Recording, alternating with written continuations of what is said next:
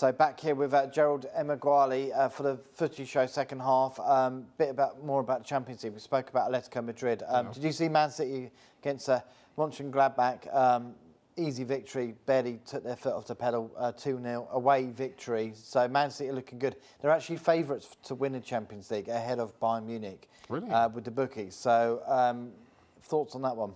Um, it wouldn't be surprising, to be fair, um, Man City, with the amount of games they have won so far in all competitions, being 19, that is no surprise to me. I thought Man, Bayern Munich definitely would still be up there because they have yeah. been more in the Champions League final around there for the last few seasons. But that's a good one to see. Maybe this might be the season for Man City. Yeah, exactly. Um, what about um, Liverpool then? They had that 2 0 away victory to Red Bull. Um, so they're probably through as well, aren't they? I can see all three English teams going through to the next stage. Can you? Um, or not? We have to see. Liverpool is the only one I'm not sure about, but Chelsea and uh, Man City definitely will go through. Um, actually, no. Well, more, yeah. more, of Chelsea would be the one that I'll struggle with because Atletico Madrid might come back stronger in the next game. Yeah. Liverpool might seal the game definitely off, especially with you know the two goals they got. Man City is a done deal already for me, so maybe Chelsea might just be the one that we have to watch and see. Yeah, and of course Atletico Madrid knocked out Liverpool last season, who were then obviously the, the European champions um, out of the competition, didn't they? So that was difficult for Liverpool at Anfield. But I think all of the the legs are going to be at the respect, uh, prospective stadium, so they're going to be, you know, um, at uh, obviously Anfield, they're going to be at Stamford Bridge, those, those legs. So having home fixtures on home turf is going to be important, isn't it? It is, it is. It, but um, then again, if you are, uh, you know, a professional team, a world-class team, wherever you play, you should be able to win.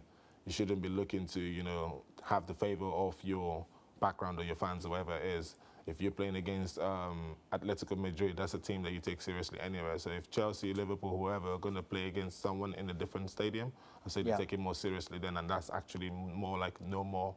It's less pressure for them because they're not playing at home. I think. I yeah, that would be better for them.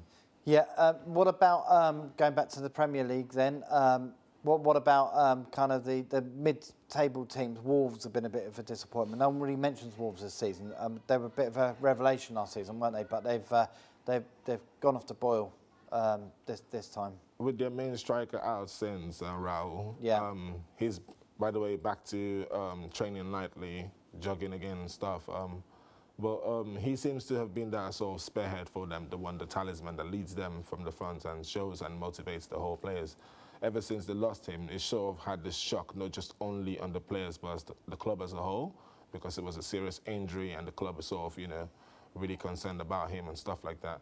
But ever since then, they have, you know, they've, they haven't done too badly. You know, um, being mid-table is sort of what you expect to see Wolves at the moment. Yes, they were playing a bit better last season and the yeah. season before that, but considering the way this season has gone, it's not too bad. I mean, Arsenal before were 15th. Let's not forget that. And um, they're coming back up now. So Wolves being there up 11 to 12.